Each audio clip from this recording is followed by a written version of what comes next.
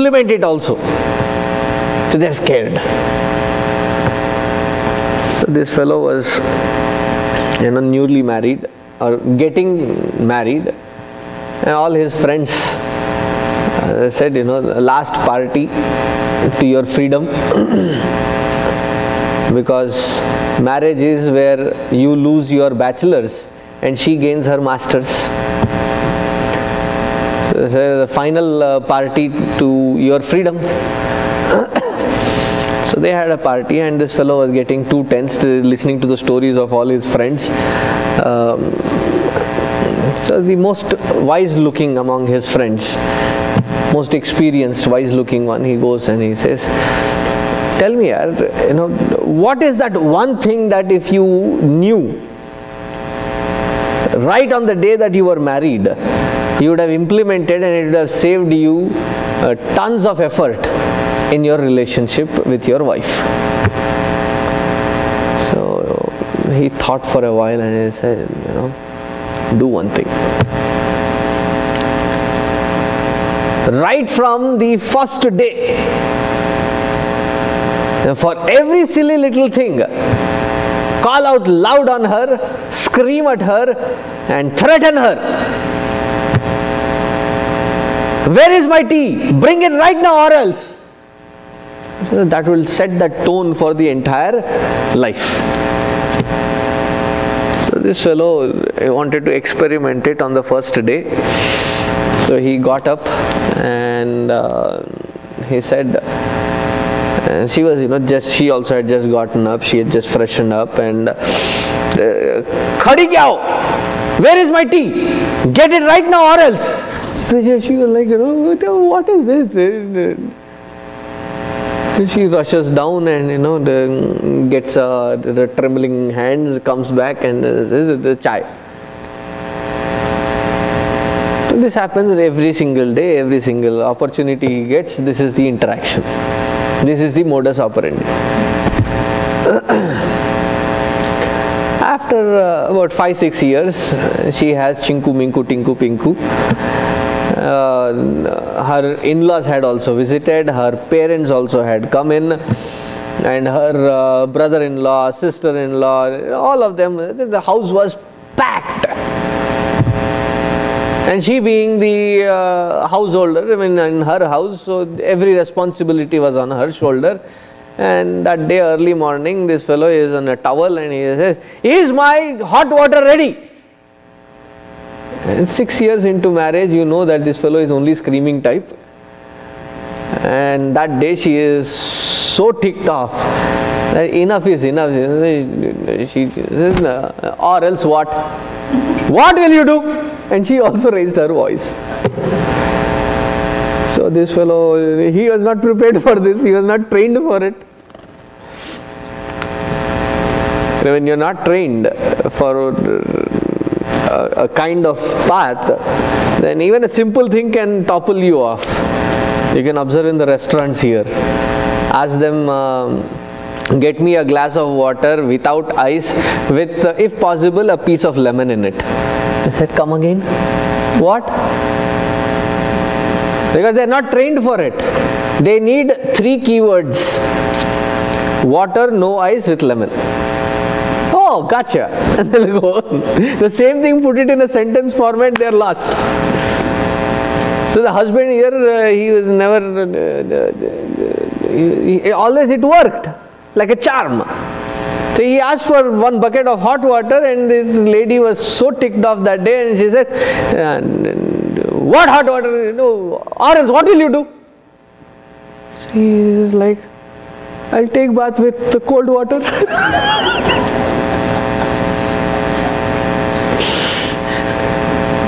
Whenever there is an or else, and if you don't follow it through, it always can have a, a boomerang effect. So Sishtakrit, that he not only is the one who is the lawmaker, why does things why do things function in the way they function? Why does fire burn? That is its nature. Who created it that way? Whoever created it. That is whom we call or refer to as God.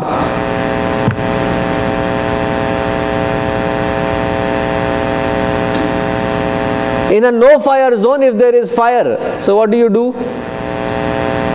You pour water. Why? Water extinguishes fire. Who created that water with that particular nature that it exists with? Whoever created it, it is that is whom we refer to as God. That is its basic nature. So he creates the universe, he creates every single element, every single particle, every single thing and being, and their nature is also decided. Now we have fire and water. Just taking an example. Fire will burn you.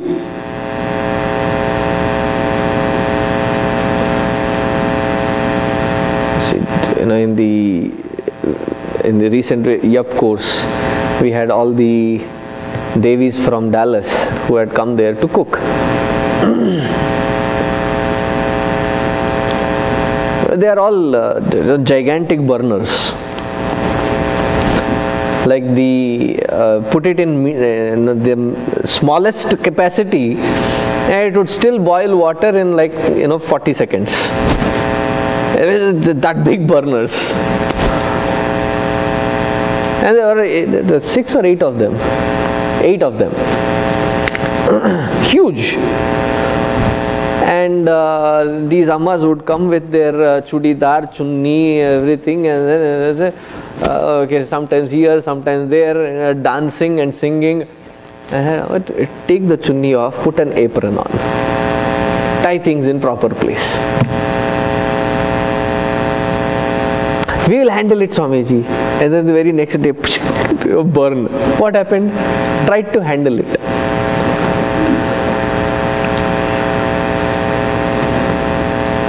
And I was no better. a long time when I was very young, about two, three years old. My parents used to always tell, warn me, do not, because just before leaving to office, they would iron their clothes and it was on a table not reachable with a, uh, for a kid of the very few memories of that 3 year old this is one strong memory that i have. One day probably they were all busy. I saw that thing that was being always kept away from me and that became a challenge for me. So as a 3 year old i grabbed the chair pulled it all the way into that room, put it comfortably next to the table, managed to climb over that chair, somehow managed to climb over to the table. A sense of accomplishment. if anybody knew what it felt like on the on the uh, uh, top of Everest, that is how I felt that day. So I sat there and then I looked at that iron thing, the black thing that was there. I held it and then put it in my lap.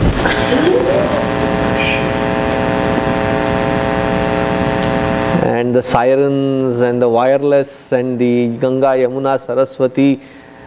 Uh, that I remember very clearly. So from then on,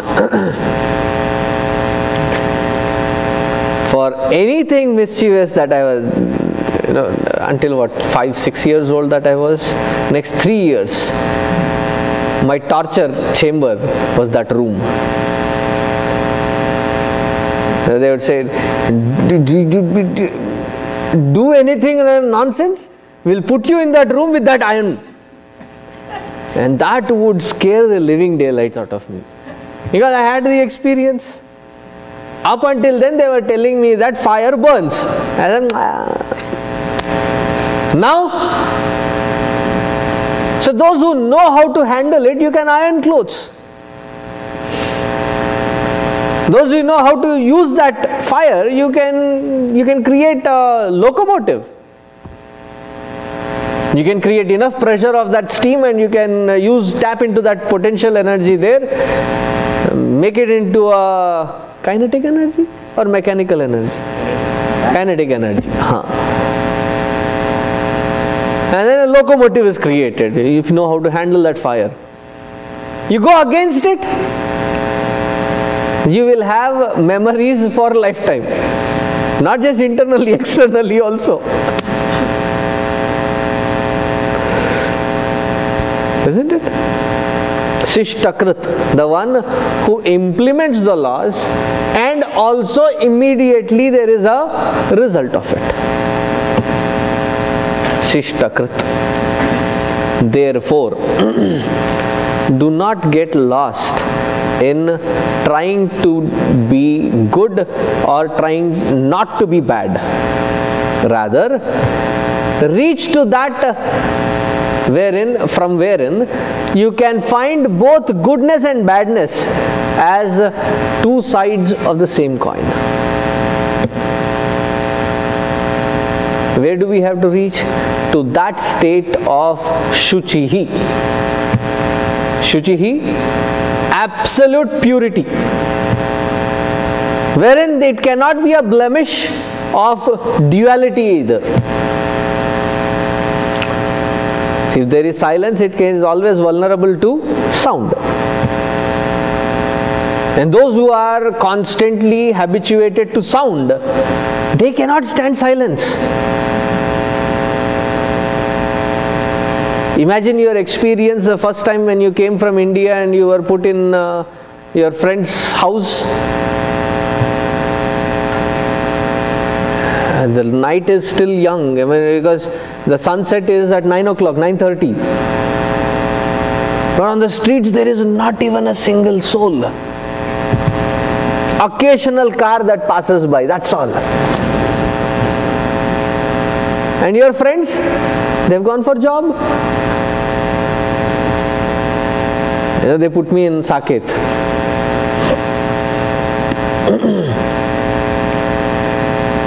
and the as the night approaches, you know, after 10, 10 30, the building starts making weird sounds. Because it has expanded now it is contracting and uh, it is so silent that every creaking sound is amplified into your ears. And you're sitting there like you already have a jet lag. And it's a totally you know they call it sannata so silent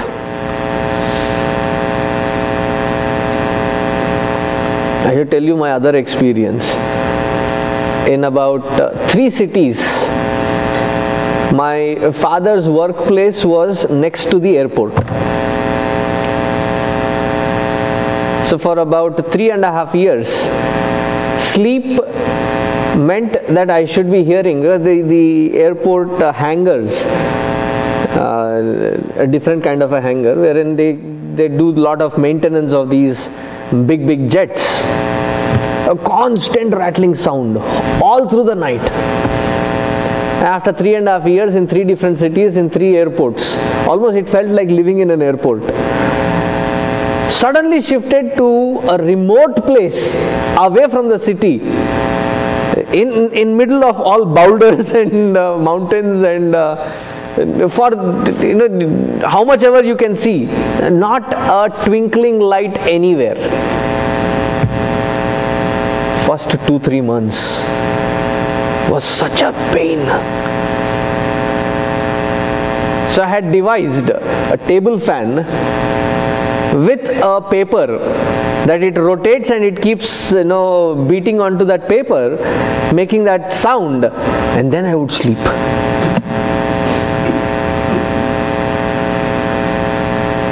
It was a constant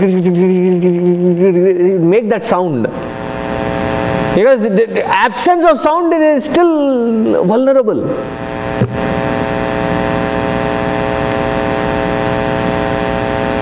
Shuchihi, that height of purity which is not even contaminated by dualities, polarities of the world and its worldliness.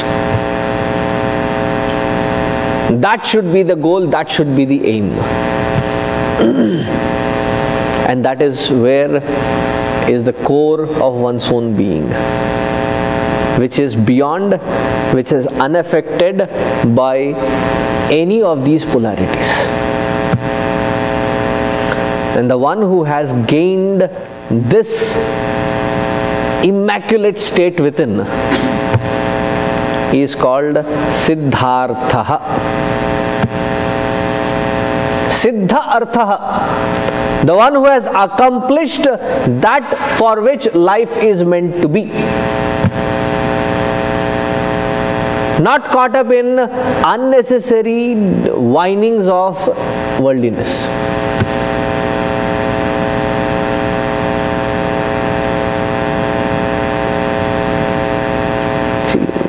Unless we are prepared, this statement will not sink in. I gave you the other day the example of Naraji who wanted to see Maya and, her, and its effects, complete effect. That he took a Sukara Rupa. Sukara Rupa, the, the boar. And he refused to come out of it. Each one embedded where we are. What would appear as the highest priority depending on what vasanas that we have trained ourselves to exist in so far. Therefore, satsanga must be a constant companion to change that conditioning. Constantly be with the Satpurusha satsanga, sat, uh, what do you call, sat grantha, sat shravana, sat manana, constant churning of it is a must to change that conditioning. Wherein you reach to a point, enough of this, let me get out of it. Until that burning desire is born. Understand life and its purpose, how many ever times we hear it, it's like uh, to the deaf ears. so, what is the purpose of life? It may be reaching, it may be not reaching, but still. Siddha Artha. Artha purposefulness. Siddha, the one who has accomplished it. Now, what is that accomplishment? To be abiding in the self as the self and reveling in the self.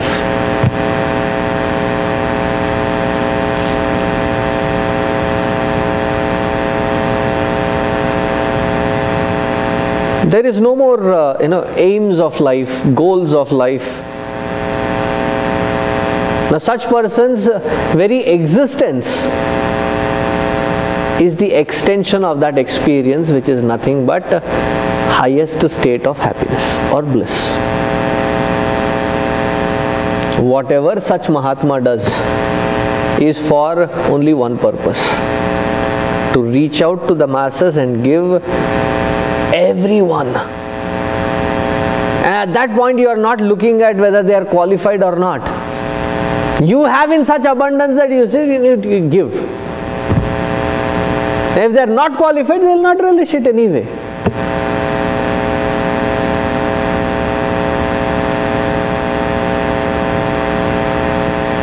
So once Gurudev was asked, do you know that this these Upanishads and everything that you are speaking on is like uh, you know beautiful uh,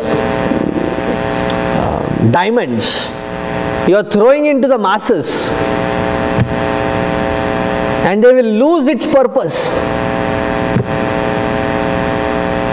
So he his standpoint was that all the diamonds that I have, he's talking about his blissful nature. I don't mind losing it if I speak in hundred cities and in his talks there were at least about 10 15 20000 people minimum 10000 people. So 100 cities. So how many people? You can tell in millions right? So of these 10 million people even if it hits one person and reach to that ultimate my being here is justified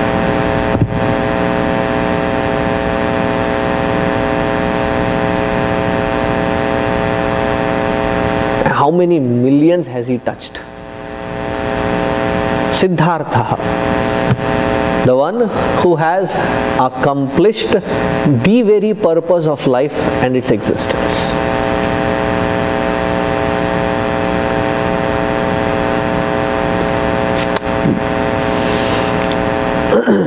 सिद्ध संकल्प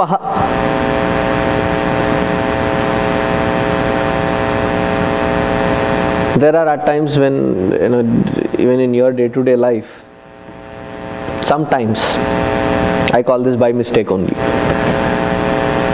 If you're from Bombay galti se mistake ho gaya. You think of something and it happens. Has it ever happened to you?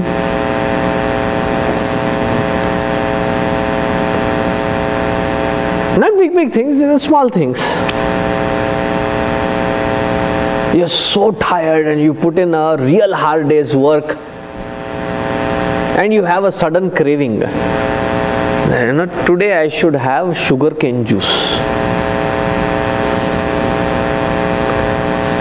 And your friend stops by saying that you know I had stopped at the grocery store and they were having this fresh sugar cane juice. I don't know, I wanted to you know spend some time and so I brought in some sugar cane. Like,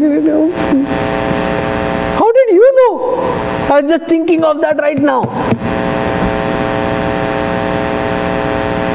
what happens is whenever we are connected with our own sattvic nature, purest nature, Shuchi, when we are connected, every thought carries the potentiality of fulfillment.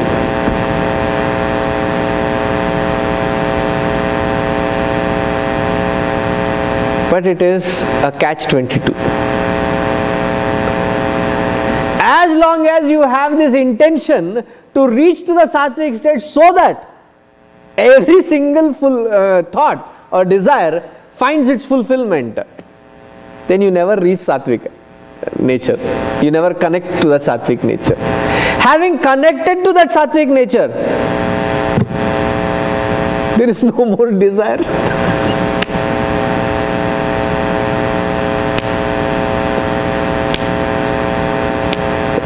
you know we read uh, most of you must have read this. Every single seeker should have read it. Because that is very enticing uh, introduction into spirituality. Autobiography of a yogi. Have you read that book?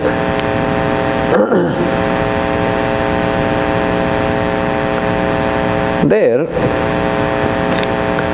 you know his father yogananji's father purchases an ointment because his sister had an abscess on her foot or hand, wherever it was. And uh, she had applied it, uh, and they observed him applying it in couple of spots on his body. His father was said, Why are you wasting it?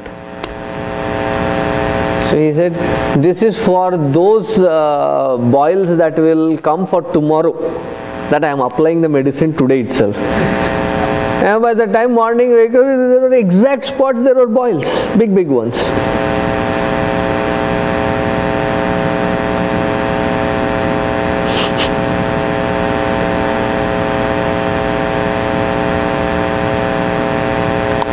He is willed by his guru to go to the west and uh, um, Encinitas, that is where his ashram is. Yeah. Encinitas. so he reaches to that shoreline and he's walking, he suddenly turns around and he looks at the entire picturesque uh, thing and he says, I know this place. And he walks through that, you know, the, from his ashram, there's a sudden drop into the shoreline. He's walking on that shoreline, he turns and he sees that this is exactly what I know.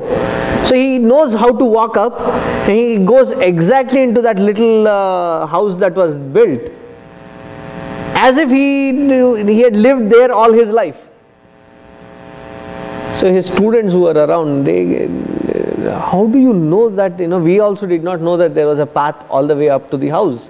How did you know that?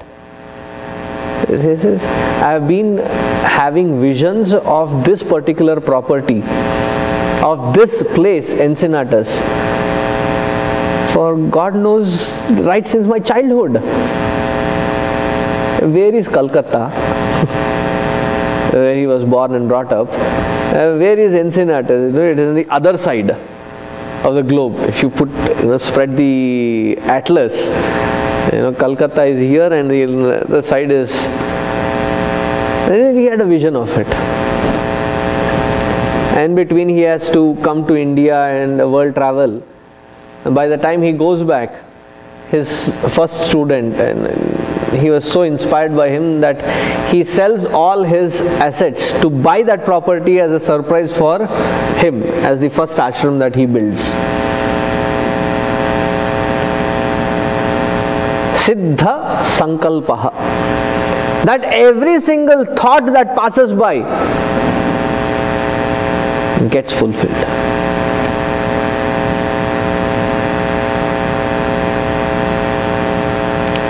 Hence, therefore, even by mistake, even by, even as a joke, do not wish harm of anybody around. Why? God knows, you know, by mistake you are in that sattvic state and it turns out to happen what you have thought.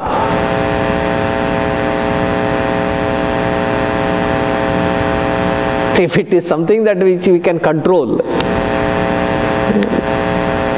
But our goodness is not under our control. No, on a serious note, thought, word, or deed,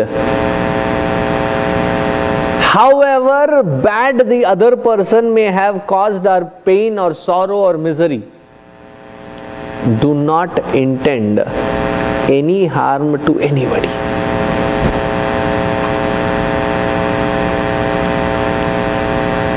nature will it takes its own course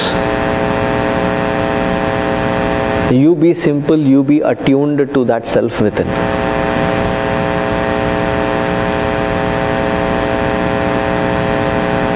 wish not for anybody's misery in this world therefore the rishi's prayer always has been sarve bhavantu sukhinah sarve santu niramayah सर्वे भद्राणि पश्यन्तु मा कश्चित् दुःखभाग् And look at the magnanimity of the prayer. They did not pray that if there is somebody who does not believe in my God, they are uh, against us, so kill them. The prayer was not that, uh, you know, Sarve Hindavaha Sukhino Bhavantu, Sarve uh, Sanatana Dharminaha uh, Niramaya Santu. No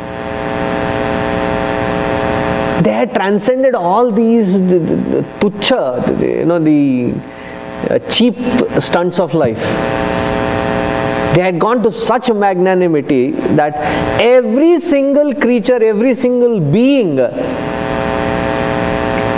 if I am connected to that truth within, if I am connected to that uh, uh, purity within, may everybody bhavantu sukhinaha. May everybody be happy. Sarve santu niramayaha. Amaya is uh, disease. Niramaya, let there be no disease Uh, one of the biggest diseases and the ancient most disease is hunger. Meaning, let there be no hunger or thirst even Let them, let the entire population, let the entire mankind, let the entire beings always be satisfied. सर्वे भवन्तु